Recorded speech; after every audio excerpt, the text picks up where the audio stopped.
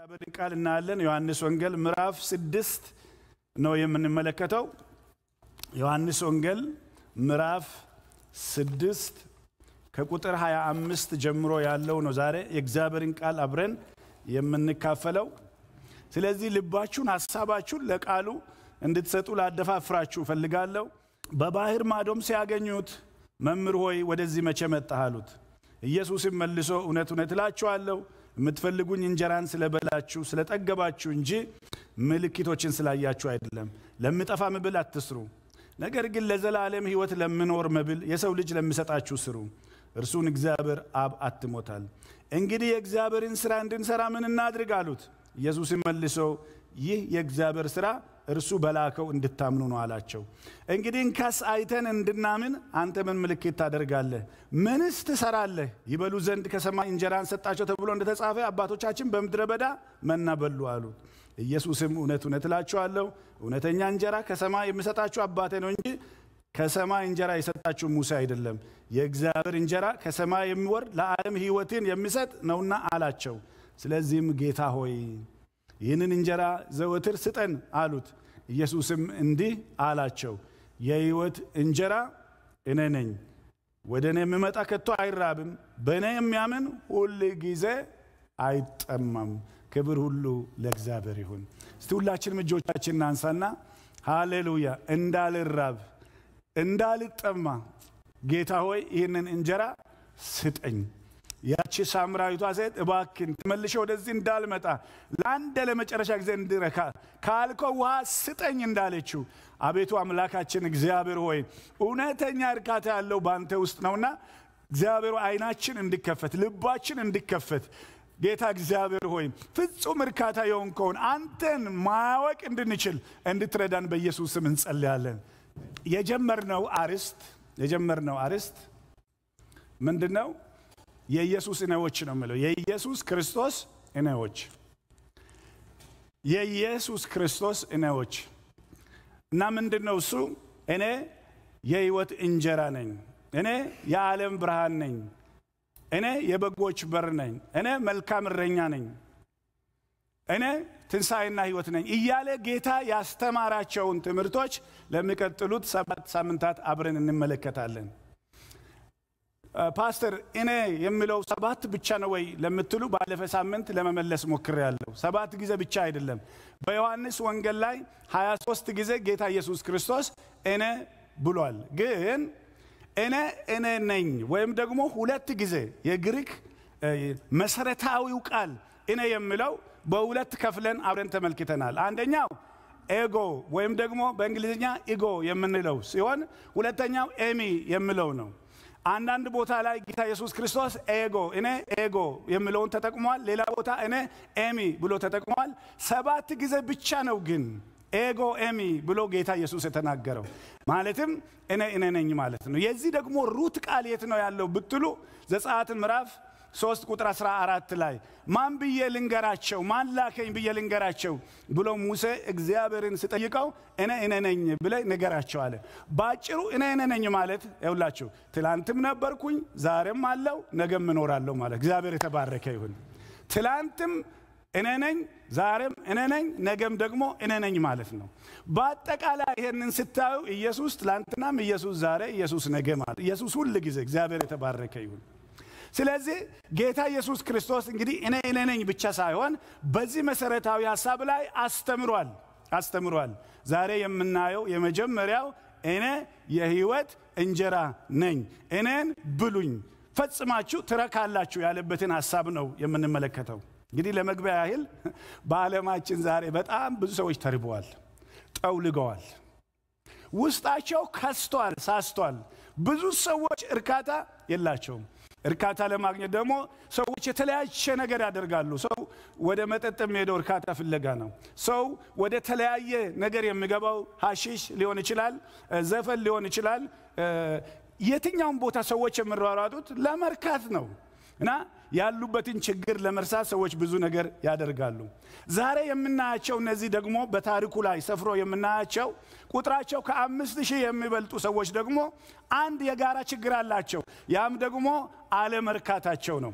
ረሃብተኞች ናቸው፣ እንጀራ ፈላጊዎች ናቸው እና ወደ ጌታ ኢየሱስ ክርስቶስ የመጡበትን ታሪክ ነው የምንመለከተው።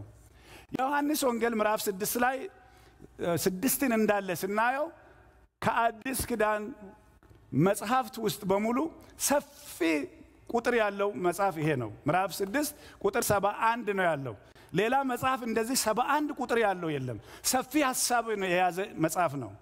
ይሄንን እንግዲህ በሶስት ከፍለን እንመለከታለን። ጌታ ኢየሱስ ራሱ እኔ እኔ ነኝ ስላለ እሱ ትላንትና፣ እሱ ዛሬ፣ እሱ ነገ እንደሆነ እነዚህንም ነገሮች በሶስት ከፍለን እንመልከተው። በሶስት እንዴት ነው የምንከፍለው? እዚህ ክፍል ውስጥ ኢየሱስ ትላንትና እናየዋለን። እዚህ ክፍል ውስጥ ኢየሱስን ዛሬ እናያለን። እዚህ ክፍል ውስጥ ደግሞ ኢየሱስ ስለሚመጣውም ነገር ያሳየናል። እግዚአብሔር የተባረከ ይሁን። እንግዲህ ወደ ታሪኩ ስንሄድ የመጀመሪያው ነገር ኢየሱስ ትላንትናም እሱ እንደነበረ ስናገር አንደኛው ቁጥር እንጀራን ከሰማይ የሰጣችሁ አባቴ እንጂ ሙሴ አይደለም ብሎ ስለ ትላንትና ያሳየናል። ይሄ ይሄን ጌታ መናገር ለምን አስፈለገው ብለን ስናይ ነገሩ እንደዚህ ነው የሆነው። ምዕራፍ ስድስት ቁጥር አንድ ላይ ታሪኩ ሲጀምር ጌታ ኢየሱስ ክርስቶስ በጣም ብዙ ድንቅና ተአምራትን አደረገ እና ብዙ ድንቅና ተአምራት ያዩ ደግሞ ቁጥራቸው በብዙ ሺህ የሚቆጠሩ ሰዎች ወደ ኢየሱስ ተሰበሰቡ። መሰብሰባቸው ብቻ ሳይሆን ደግሞ ጊዜው እየመሸ ሲሄድ የተሰበሰበው ሰው ማታ እራት መብላት ስላለበት ጌታ ኢየሱስ ክርስቶስ ዘወር ብሎ ከደቀ መዛሙርቶቹ መካከል ለፊልጶስ ለምን ፊልጶስን እንደጠየቀው አላውቅም፣ ግን ይሄ ትምህርት ሲያልቅ ይህን ጥያቄ እያንዳንዳችን እንጠየቃለን። ፊልጶስን እንደዚህ ብሎ ጠየቀው ጌታ ፊልጶስ ለዚህ ሁሉ ሰው የሚሆን እራት ከወዴት እናገኛለን ብሎ ራሱ ጌታ ፊልጶስን ጠየቀው። መጽሐፍ ቅዱስ ምን ይላል? ጌታ የሚያደርገውን ያውቅ ነበረና ይላል። ፈተና ነው ለፊልጶስ። ጌታ የሚያደርገውን እያወቀ ከፊልጶስ ግን ትክክለኛ መልስ ይፈልግ ነበረ እና ከወዴት እናገኛለን ሲለው ከየት ነው የምናገኘው? ሁለት መቶ ዲናር ነው ያለው። እሱን እንኳን ሄደን አሁን አንዳንድ ነገር ገዛዝተን ብንመጣ ለማንም ሰው ለቅምሻ የሚሆን ምግብ ሊገኝ አይችልም። ስለዚህ ህዝቡ ይሰናበት ነው ያለው። እንድሪያስ ደግሞ ምንድን ነው ያለው? ሁለት አሳና አምስት እንጀራ የያዘ አንድ ትንሽ ልጅ እዚህ አለ። እንግዲህ እሱ መፍትሄ ካልሆነ ሊሆን እንዴት ይችላል ነው ያለው። ጌታ ኢየሱስ ክርስቶስ ያ ሕፃን የያዘውን ሁለት አሳ አምስት እንጀራ ተቀበለ። ከዛ በኋላ ባረከ፣ ቆርሶ ሰጣቸው። ምገርማችሁ ሁለት አሳ አምስት እንጀራ አምስት ሺህ ሰው በልተው ከዛ በኋላ የቀረው አስራ ሁለት መሶብ ሰብስቡ አላቸው። የእኛ ጌታ ይህንን ማድረግ ይችላል። አሜን። ደስ አላቸው። እንግዲህ ነገሩ ይሄ ነው። ደስ አላቸው። ካላነገስኒ ካልሾምኒ አንተ የምንጠብቀው መሲህ ነህ እና አንተን ማንገስ አለብን። ሊነጥቁት ባሰቡ ጊዜ አያችሁ፣ በኃይል ለምንድን ነው ውስጣቸው ምሻታቸው ምንድን? ለምንድን ነው መንገስ ያለበት? ስላበላህን ስላጠጣህን አሁን አንተ መንገስ አለብህ አሉ። ጌታ ኢየሱስ ክርስቶስ ግን እንደዛ እንዳሰቡ አውቆ አያችሁ እሱ ገና ወደ መስቀል እየሄደ ነው ያለው። እነሱ ደግሞ እሱ ሊያነግሱ የፈለጉበት መንገድ ትክክለኛ እንዳይደለ አይቷል። ጥሏቸው ይሄዳል። ሲሄድ ወዴት እንደሄደ መቼ እንደሄደ አላዩትም። ደቀ መዛሙርቶቹን ተከተሉኝ አላቸው። ደቀ መዛሙርቶቹ አንድ ጀልባ ይዘው ከዛ በኋላ በባህር አድርገው ኢየሱስ ወዳለበት ሄዱ። ያ ሁሉ ሕዝብ ኢየሱስን ፈለጉት። ባይገርማችሁ ኢየሱስ ክርስቶስ የት እንደሄደ አላዩትም። ደቀ መዛሙርቶቹ ደግሞ በነበሩበት ጀልባ ውስጥ ኢየሱስ እንዳልገባ እርግጠኛ ናቸው እና ፈልገው አጡት ይላል። የት ገብቶ እንደፈለጉት አላውቅም። ነገር ግን ከዛ በኋላ አጣይቀው እሱ ወዳለበት እሱ ሊፈልጉ ከጥብርያዶስ ወደ ቂሳሪያ ባህሩን ተሻግረው እንዴት እንደተሻገሩ ባናውቅም ከዛ በኋላ ኢየሱስን ያገኙታል። ሲያገኙት አሁን ያነበብነው ክፍል ይሄ ነው።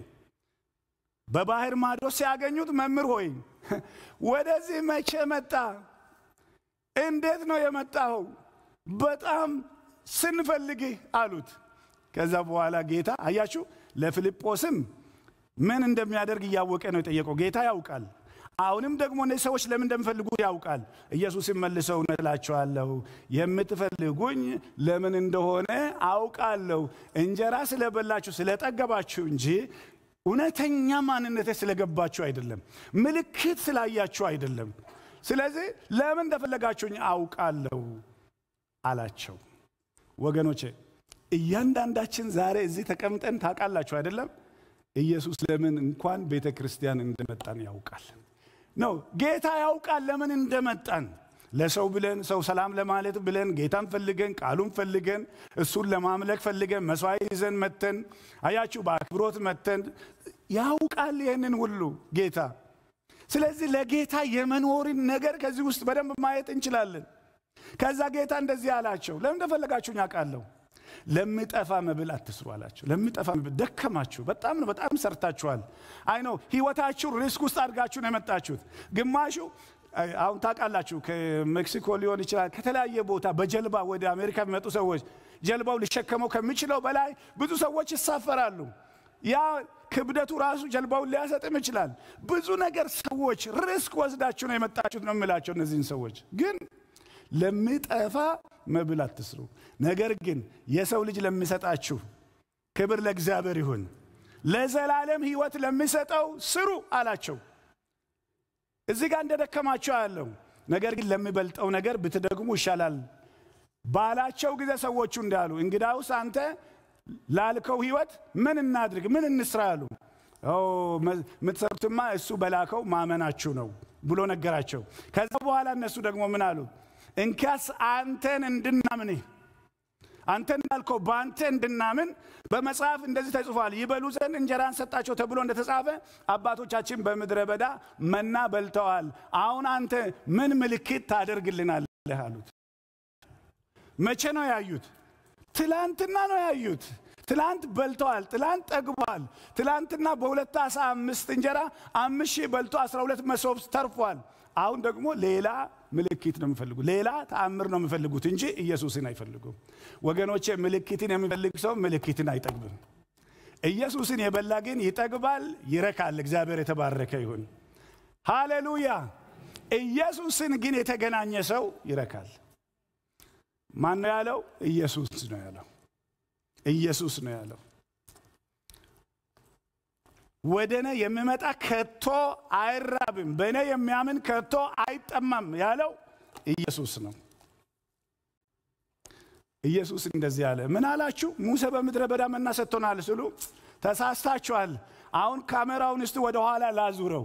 በምድረ በዳ መና የሰጣችሁ ራሱ አባቴ ነው እንጂ ሙሴ አይደለም አላቸው። እስቲ የመናውን PowerPoint አብረን እንመልከት። መና ማለት እስራኤላውያን አርባ ዓመት በምድረ በዳ የበሉት ምግብ ነው። መና ማለት የዕብራይስጥ ቃል ነው። ምንድን ነው ማለት ነው? የእግዚአብሔር ምስጢር ክርስቶስ ነው። ሃሌሉያ አሜን። በምድር ያልታየ ከሰማይ የመጣ ነገር ግን ነፍሲን የሚያድን መና የሚል ስም ሰጡት። መና ማለት ምንድን ነው ማለት ነው? አንደኛ መና በሆነ ፋብሪካ የሚሰራ የድካማችን ውጤት ነው የማንለው ማለት ነው። ከየት ነው የሚመጣው? እስቲ አንድ ላይ ጮክ በሉና ከሰማይ። መቼ ነው የሚመጣው መና? ማታ ማታ። ለምን ማታ ማታ? እኛ ኃጢአተኞች እያለ እኛ በጨለማ እያለን እኛ በደከመን ጊዜ የእግዚአብሔር እርዳታ ስለሆነ ማታ ማታ ነበር የሚመጣው። ገና እኛ ደካሞች ሳለ ክርስቶስ ስለኛ ራሱን ሰጠ ይላል። መናው ምን አይነት ነበረ? ሳይዙን ስታዩት ደቃቅ ነበረ። በጣም ደቃቅ ምን ያሳያል? የክርስቶስን ስብዕና ነው። አምላክ ሆኖ እያለ እንደኛ ሰው የሆነ ቃል ሆኖ እያለ ስጋ የለበሰ ሃሌሉያ። ሁሉን የሚችል ጌታ ሰው ሆኖ ግን በቤተልሔም በረት የተወለደ ጌታ ማለት ነው። ስለዚህ ለእኛ የምንቀርበው ወንድማችን ሆነ ማለት ነው። መናው ክብ ነበረ። ክብ የዘላለማዊነቱ ምሳሌ ነው። መናው ነጭ ነበረ፣ የቅድስናው ምሳሌ ነው።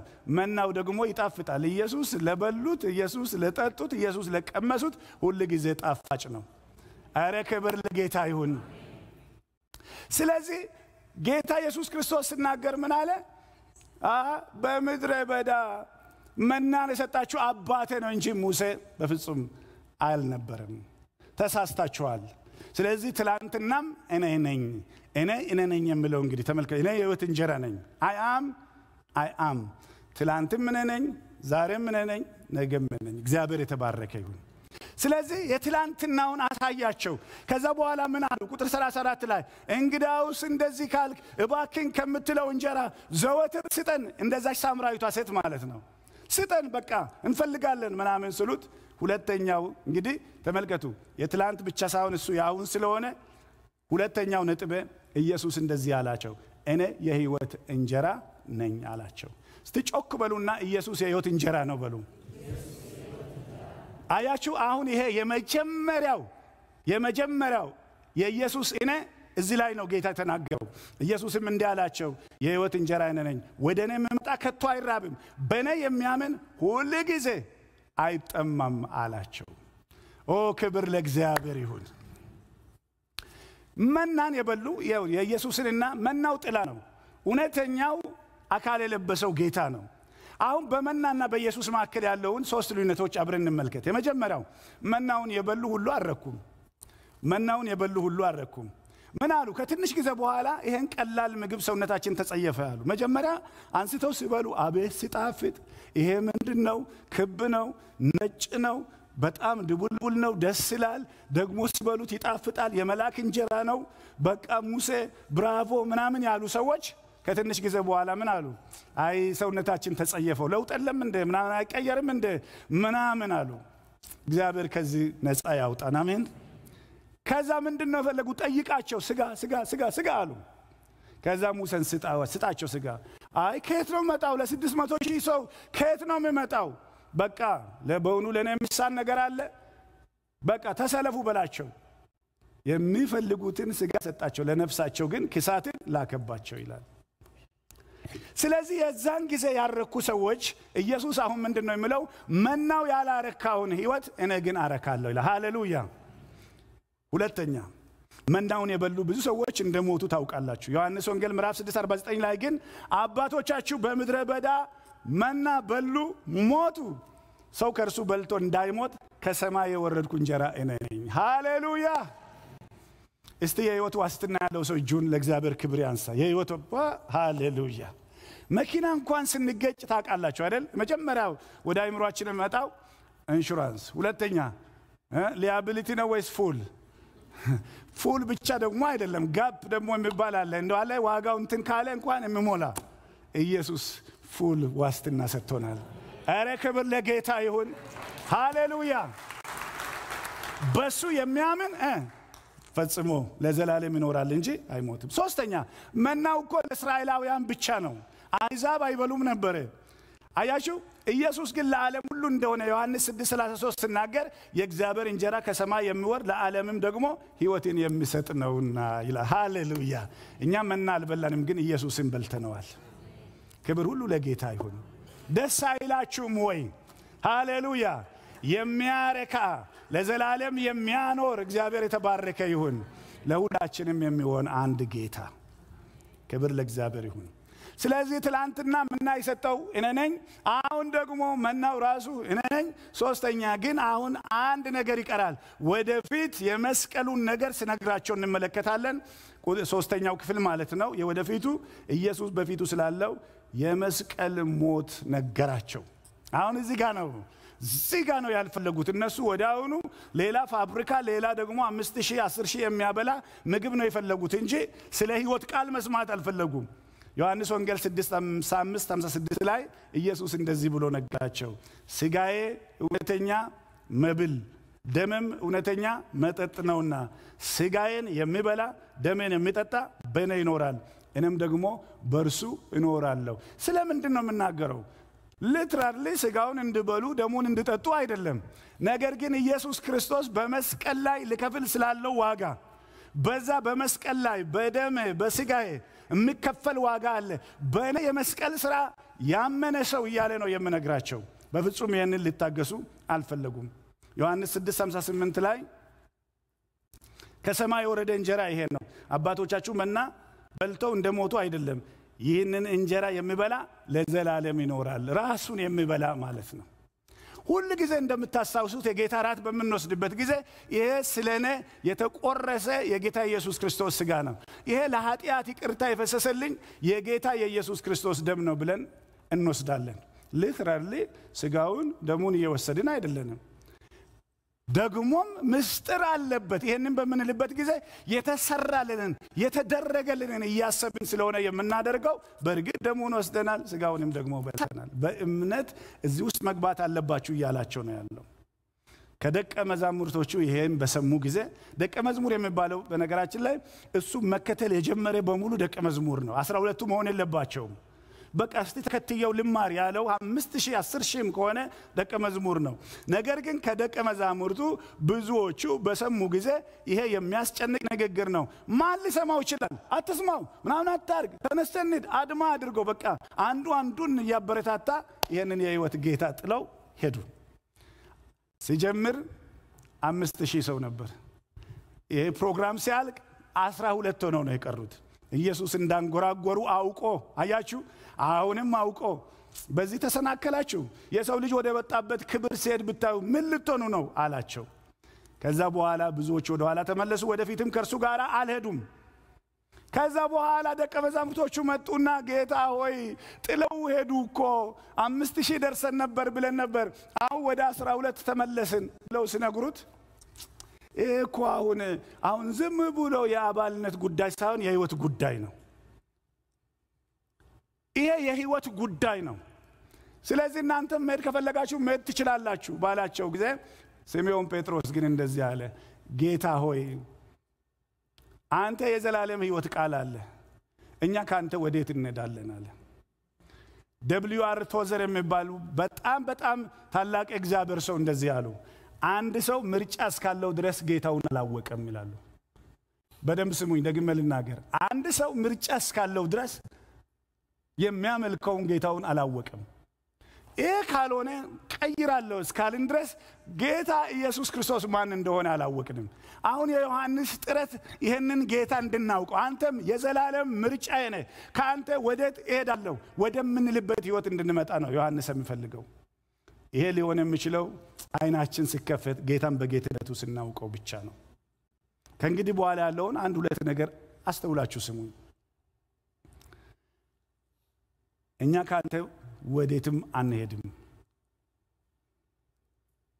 ሁለት ነገር፣ አንደኛ ከዚህ ሙሉ ሀሳብ የምናየው ኢየሱስ ትላንትና፣ ኢየሱስ ዛሬ፣ ኢየሱስ ነገም ከሚለው ሀሳብ የምናየው አንድ መሰረታዊ ነገር እውነተኛ እርካታ ያለው በኢየሱስ ብቻ ነው። ደግሜ ልናገር፣ ኢየሱስ እውነተኛ እርካታ ያለው በጌታ በኢየሱስ ብቻ ነው። እስቲ አንድ ላይ አሜን። ይኸውላችሁ ቅድም ስለ ግሪክ ቃል አንዳንድ ነገር ተነጋግረናል። አሁን ሌላ የግሪክ ቃል ልጨምር። በግሪክ ህይወት የሚባለው ነገር በሶስት ከፍላችሁ ይዩት። ህይወት አንደኛ bio biology የሚለው የመጣው ከዛ ነው፣ ህይወት ነው። ሁለተኛው ሱኬ ሳይኮሎጂ የሚለው ቃል የመጣው ከዛ ነው፣ ሱኬ። ሶስተኛው ግን ዞዊ የእግዚአብሔር ህይወት ነው። በደንብ አስተውላችሁ ስሙኝ። ይሄ ባዮሎጂ የሚለውን ህይወት እንዴት ነው የምንገልጸው ብትሉ፣ ው ባለን ነገር ነው የምንለካው። እንደ ሻው ምን አለው? እንደ ሻው መኪና አለው ወይ? እንደ ሻው ተምሯል ወይ? እንደ ሻው ምን ያህል ገንዘብ አለው? ይሄ ይሄ የመሳሰሉ ዛሬ የምንለካበት ቁመቱ፣ ክብደቱ፣ ምናምኑ ሰው የሚያየውን በቃ ሰውን ልናስደስትበት እኛም ደግሞ እንደው ልንኮራ የምንፈልግበት ነገር በሙሉ በዚህ ውስጥ ማየት በባዮ ውስጥ ነው የምናየው። የመጀመሪያው ሌቨል ህይወት ነው። ግልጽ ነው ወይ እየተናገርኩ ያለሁት ነገር? እዚህ ውስጥ ነው ያለው። ሁለተኛው ሱከ የሚለው ሳይኮሎጂ የሚለው የመጣው ባለን ነገር ብቻ ሳይሆን በሚሰማን ነገር ነው። በስሜታችን ውስጥ ነው ያለው። ሁለተኛው ህይወት በስሜታችን ውስጥ ነው። ሰውየው ሁሉ ነገር ኖሮት ሰውየው ሁሉ ነገር ኖሮት ግን ቅር ቅር ይለኛል፣ ውስጤ የሆነ የሚሰማኝ ነገር አለ። ምንድን ነው ተብዬ ብጠየቅ ይሄ ነው ሊል የማልችለው የሆነ የሚሰማኝ ነገር አለ የምንልበት ህይወት ነው። ሶስተኛው ህይወት ግን የላችሁ ከባዮ ቀጥሎ ከሱከ ቀጥሎ እኔና እናንተን ዮሐንስ አሁን የሚጠራን ዞዊ ወደ ሆነው ወደ እግዚአብሔር ህይወት ነው። ኧረ አንድ ላይ አሜን በሉ። ኦ ሃሌሉያ ወገኖቼ፣ ሰው በነፍሱ ከረካ አያችሁ፣ ዞዌ ህይወት ውስጥ ከገባ እዚህ ጋር ያለው ችግር አይታየውም። አሁን ተመልከቱ፣ ኢየሱስን አጠግባለሁ ሲል ከባዮ ያለፈ ከሱከ ያለፈ ወደዚህ ዞይ ወደ ሆነ ህይወት ነው እግዚአብሔር እየጠራን ያለው። ጌታ ኢየሱስ ክርስቶስ ሲጸልይ ከብዙ ደቀ መዛሙር ከብዙ ተአምራት ተለይቶ ወደ አባቱ ሲሄድ ያንን ዞዬ ህይወት መጠበቅ ነው የምፈልገው። ያንን ሰማያዊ ህይወት መጠበቅ ነው የምፈልገው። ያ ነው ጠንካራ የሚያደርገው ሰውን። ክብር ለእግዚአብሔር ይሁን። ታውቃላችሁ ሰው ስጋው ብታመም ስጋው ብታመም አጥንቱ ይሸከመዋል ይላል። ስጋው ብታመም አጥንቱ ይሸከመዋል። አጥንት ማለት የመንፈስ ምሳሌ ነው። መንፈሱ የተሰበረን ሰው ግን ማን ሊረዳው ይችላል ይላል። ስለዚህ ለመንፈሳዊ ነገር ነው ቅድሚያ መስጠት ያለብን። ይሄ ሁለተኛው ነጥብ ነው። ይሄ ሁለተኛው ነጥብ ነው። ከስጋዊ እና ጊዜያዊ ከሆነው ምድራዊ ፍላጎቶቻችን ይልቅ ለመንፈሳዊ ነገር ቅድሚያ እንድንሰጥ ይሄ ክፍል ያስተምረናል። ለምጠፋ መብል ለምን ትሰራላችሁ? ለምን ይህን ያህል ትደክማላችሁ? ለማይጠፋው ለዘላለም ህይወት ለሚሰጠው ለመንፈሳዊ ህይወት ለምንድን ነው እንደዚህ የማትደክሙት? ሁላችንም ጠብና እርግፍ የምንለው ከመቶ ዘጠናው እጅ ለመንፈሳዊ ነው ለዘዊ ነው አይደለም። ይሄ ጊዜያዊ፣ ይሄ በቃ የሚያልፈው፣ ይሄ የሚቀረው፣ ይሄ የሚያረጀው፣ ይሄ የምጣለው ነገር ለመጠጋገን ብዙ ነገር ነው የምናደርገው። እባካችሁ ስሙኝ። አውገስቲን የሚባለው ታላቅ የእግዚአብሔር ሰው እንደዚህ አለ፣ አነበዋለሁ። እግዚአብሔር ሆይ ለራሴ ፈጥረህናል፣ ነፍሳችን በአንተ እስክታርፍ ድረስ አታርፍም ብለዋል። እግዚአብሔር ሆይ ለራሴ ፈጥረህናል፣ ነፍሳችን በአንተ እስክታርፍ ድረስ ከቶ አታርፍም። የነፍሳችን ማረፊያ እግዚአብሔር ነው። ጌታ የሚፈልገውን ከእሱ ጋር አንደኛ ሽርክ እንሆንና በጣም friendship ከጌታ ጋር እናሳድግና የሚሆነውን ነገር እነግራችኋለሁ። ፊልጶስን ጌታ እንደዚህ ያለው ፊልጶስን እንደዚህ ያለው ፊልጶስ ጌታ የሚያደርገውን ታምራት ያውቃል እና አሁን በጣም ምራክል አድርጎ አምስት ሺህ ሰው ሊመግብ ነው። ፊልጶስን ግን እንደዚህ ያለው ፊልጶስ ለዚህ ሁሉ ሕዝብ የሚሆን እንጀራ ከየት እናገኛለን? ከየት ሶርሱ የት ነው ነው ያለው ጥያቄው። ግልጽ ነው። ሶርሱ ከየት ነው? ፊልጶስ ግን ከዛ አላለም፣ ወይም ከዚህ አላለም። የተጠየቀውን አልመለስም። ምንድን ነው ያለው ፊልጶስ? እንዴት? እኔ እንዴት እኮ አልጠየቅኩም። እኔ ከየት ነው ያልኩ። አንተ የምትመልስልኝ እንዴት ነው ሊበቃ የምችለው? ሁለት መቶ ዲናር ነው ያለው። ምን ብደረግ እንዴት ነው የሚሆነው ነው ያለው። ፊልጶስ ያለው ባዮ ህይወት ውስጥ ነው። ገና እሱ አልገባም። ገና ዞዊ ውስጥ አልገባም። አያችሁ፣ ጌታ ግን የፈለገው ከፊልጶስ ጋር እንዲቆራኝና በህይወቱ ውስጥ በኑሮ ውስጥ ለዛሬም ለነገም ለወደፊትም ላለው ችግር በሙሉ ይሄ ነገር ከየት እናገኛል እንዴት ታደርጋለህ ለሚለው ጥያቄ አንተ እያለ እንድለው ነው የፈለገው። ክብር ለጌታ ይሁን። ኧረ አንድ ላይ አሜን በሉ። አብርሃምን ይኸውና በቃ ሁሉ ነገር ተዘጋጅቷል። የመስዋዕቱ በግ ከየት ነው የሚገኘው በተባለ ጊዜ ምን አለ? እግዚአብሔር ያዘጋጃል። አይደለም ግን ወደ ዞዊ ህይወት እግዚአብሔር ያስገባን። አሜን። ከእግዚአብሔር ጋር ወዳጅ ወደምንሆንበት እሱ እያለ አንተ ታባዘዋላ። አምስት ሺህ ቢሆን ታዲያ ምንድን ነው? ተራራው በአንተ ፊት ምንድን ነው? አምስት ሺህ ሰው ብራ በአንተ ፊት ምንድን ነው? ኮሌጅ ልጄ ብት አንተ ምንድን ነህ? ለትዳር በቃ እግዚአብሔር ያዘጋጃል። አረ ክብር ለእግዚአብሔር ይሁን። እውነቴን ነው የምልህ፣ ወደዚህ እንድንገባ እግዚአብሔር ይፈልጋል። ጌታ ኢየሱስ እኔ ህይወት እንዲሆንላችሁና ምን እንዲሆን ነው የመጣሁት እንዲበዛላችሁ ማለት የዘይት ፋብሪካ ጓዳችሁ ውስጥ እንዲደረግ ሲያስፈልገን እሱ እንዲከፍል ዕዳ ስመጣ እሱ እንዲከፍል አብረነው እንድንሰራ አይናችን ከምድራዊ ነገር አንስተን ከጌታ ጋር እንድንኖር ይሄ ጥሪ የዚህ ጥሪ ነው። ትላንትም እኔ ነኝ እኔ የህይወት እንጀራ ነኝ የምለው እኔ ነኝ የምለው ትላንትም እኔ ነኝ፣ ዛሬም እኔ ነኝ፣ ነገም እኔ ነኝ። እግዚአብሔር ያዳነን ሰዎች ነን። ሃሌሉያ! እግዚአብሔር የደገፈን ሰዎች ነን። ሃሌሉያ! ወደዚህ ህይወት እንድንገባ እግዚአብሔር ሁላችንም ይርዳል።